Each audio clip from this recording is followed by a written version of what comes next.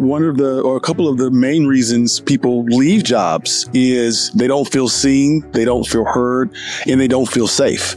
So if we can make people feel seen, feel heard, feel safe, feel valued, right, we would retain a lot more talent, which again keeps money in the pockets of the organization.